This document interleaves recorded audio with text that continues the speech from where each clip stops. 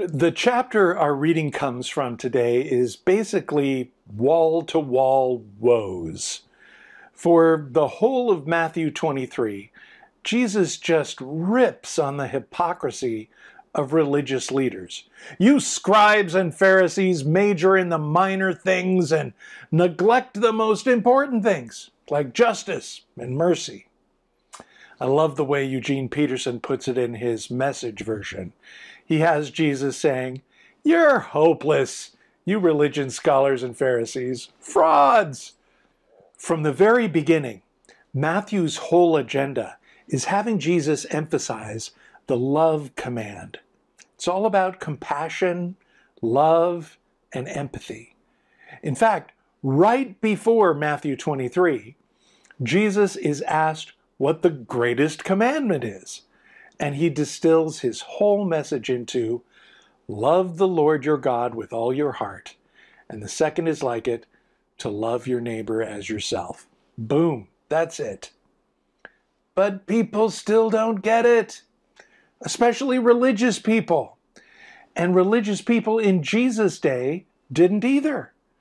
That's why the people Matthew casts as Jesus' primary opponents are the most overtly religious folks who apply scripture in a legalistic and bureaucratic way that assumes God is some kind of angry, thin skinned control freak. As my teacher Bill Loader puts it, the problem is, for many folks, God is essentially their own egos writ large. And when that happens, People will be abused in the name of purity or holiness or obedience. In every generation, we can find examples of destructiveness done in the name of Scripture or even by means of Scripture. The challenges of chapter 23 have a way of coming home to roost. Sadly, each of the charges Matthew has Jesus make in chapter 23 is just as applicable to the Christian community today as it was to a first century Jewish community. We're talking a basic shortcoming of the human condition. People like to justify their own prejudices and preferences by attributing them to some divine source. Hey, don't blame me. I'm just following the rules as laid out by God.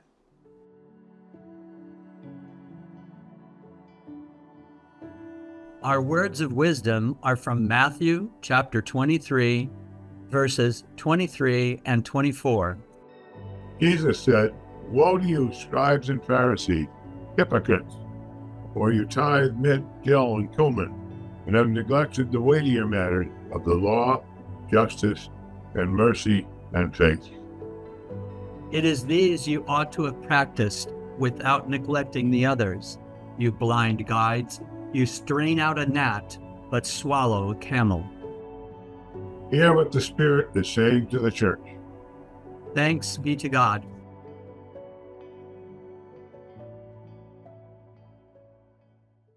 A couple of pastors are standing together by the side of a road, holding up an improvised sign that reads, Turn back! The end is near!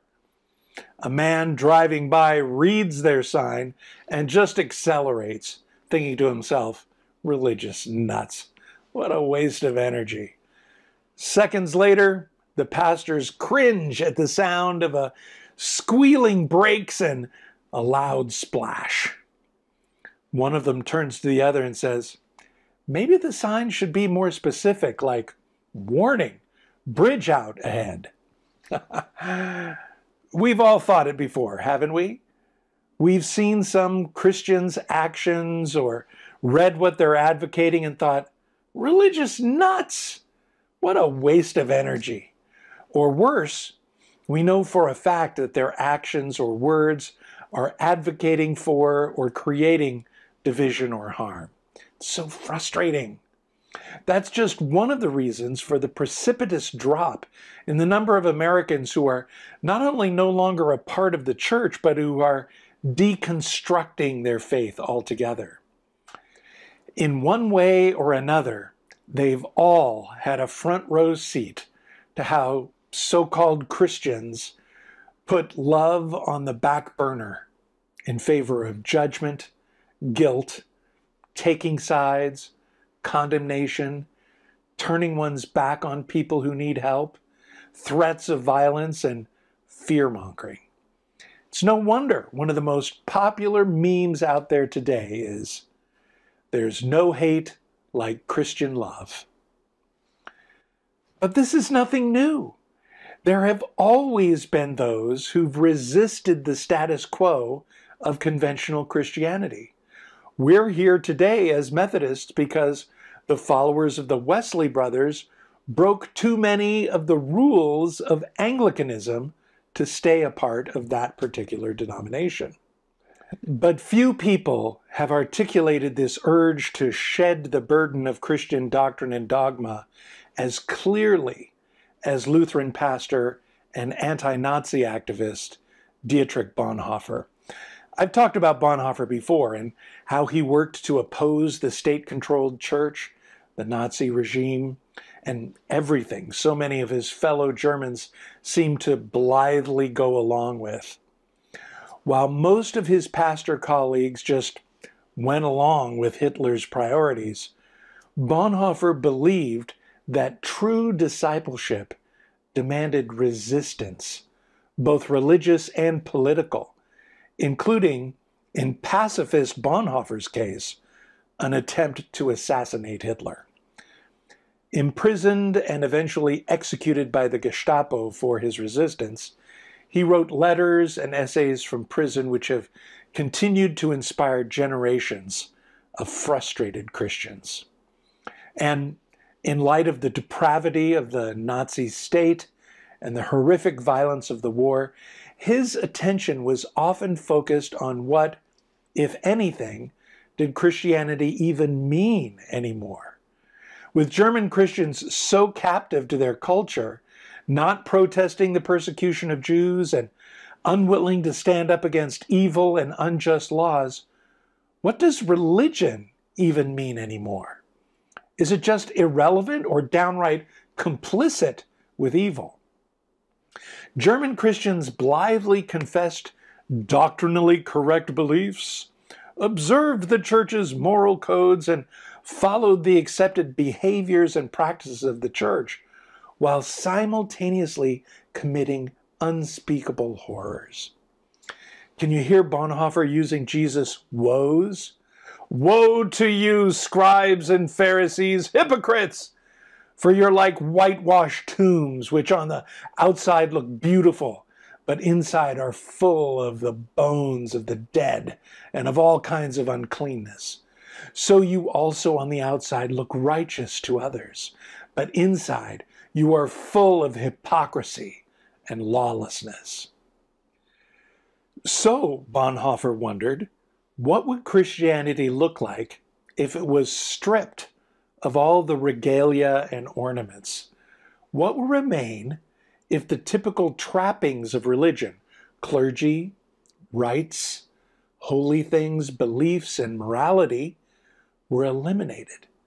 What would a religionless Christianity look like? He came to the conclusion that it would be just two things contemplative prayer and righteous action. That's it. But what exactly would that look like?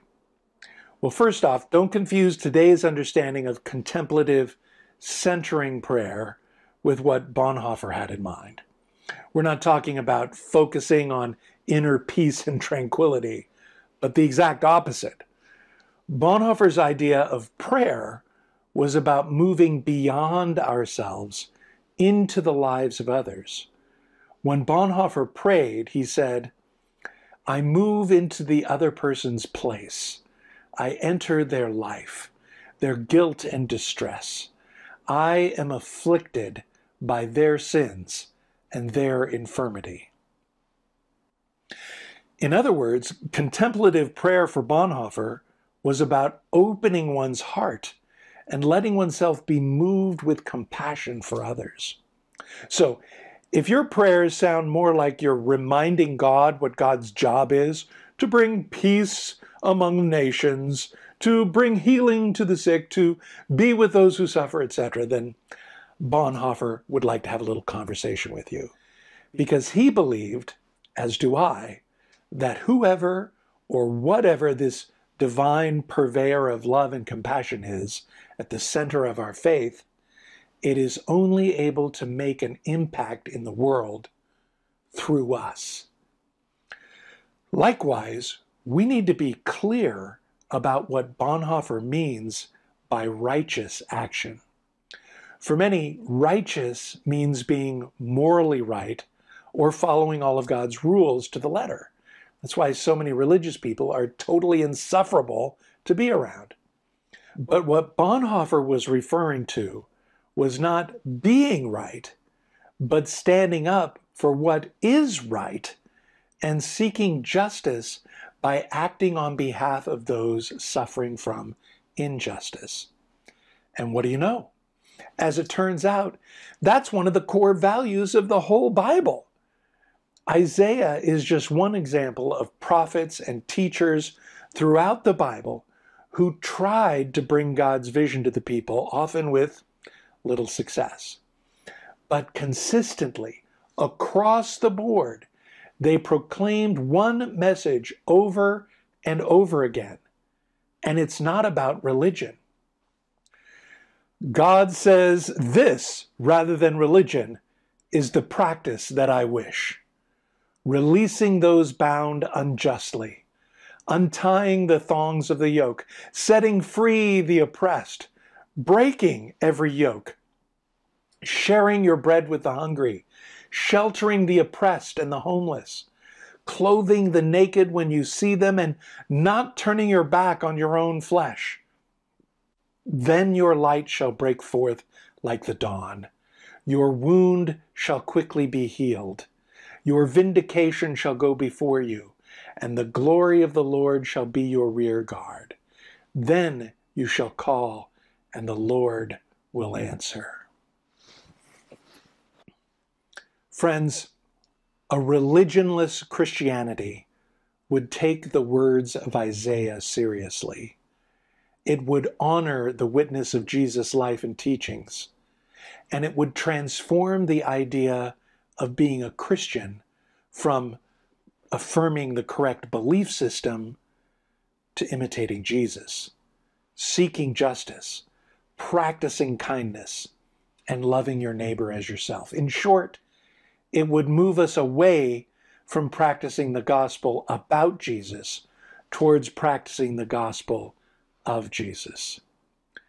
Embracing those who are excluded, caring for the hurting, responding in concrete ways to not only heal the wounds of life, but alleviate the causes of suffering for real people in the real world. Granted, this kind of behavior has supposed to have been a part of the church's mission all along, but the institution often becomes more concerned about itself than its core mission. Why? As Karen Armstrong observes, religious people often prefer to be right rather than compassionate. Often, they don't want to give up their egotism they want their religion to endorse their ego, their identity. In other words, they want God to endorse their already held prejudices and worldview, to put a little religious shinola on the status quo. Maybe do a little charity work here and there, tithing that mint and cumin so we can feel good about ourselves, but don't rock the boat. But as we've already heard, Jesus has just one thing to say to such ideas Woe to you! The prophets and Jesus alike offer us one consistent biblical theme God values justice and mercy over empty religious rituals and hypocrisy. But that ancient message and example of Jesus has become muted and distorted, both in our churches and in the public arena. The church has not only domesticated Jesus into a figure that's all about one's own personal faith, but has transformed him into a figure who is harmless and irrelevant to the principalities and powers shaping the world. As our guide to being people of the way, Kurt Struckmeyer writes, Jesus set out to transform human life in the midst of a great empire and to challenge those forces that oppress and divide people in every society. This is the journey Jesus invites us to join. This is where Jesus is leading us. We have to let go of our preconceived ideas about Christianity, especially the seductive and self serving dogma that makes Christianity all about us. If we can reclaim the Jesus of history, the human Jesus, we can reshape a Christianity stripped of its religious trappings and emphasize what Jesus modeled and Bonhoeffer advocated. Not more religion, but the kind of prayer and action that transforms the world for the good of all. As Pastor Bruxy Cavey has preached, Jesus didn't come to offer an alternative religion, but an alternative to religion. He didn't call people to leave one lifeless shell for another, but to live life beyond the borders of religious rules, regulations, rituals, and routines. As Bonhoeffer wrote, Jesus does not call us to a new religion, but to life. Jesus asked just one thing of us follow me. Walk with me toward the vision I'm proclaiming, the revolutionary reign of God, this conspiracy of love. It's not about getting the religion right. It's about advocating for the marginalized and oppressed. It's about respecting and learning from others. It's about embracing our common humanity and shared values and focusing on what transformative action we can take together in the world. Will what we do in our little corner of the world revive Christianity? Will it make Christianity suddenly relevant to the disenchanted? Will we bring an end to hypocrisy, evil, violence, and injustice in the world? Probably not. But as that bit of religionless Jewish wisdom reminds us, do not be daunted by the enormity of the world's grief. Do justly now. Love mercy now. Walk humbly now.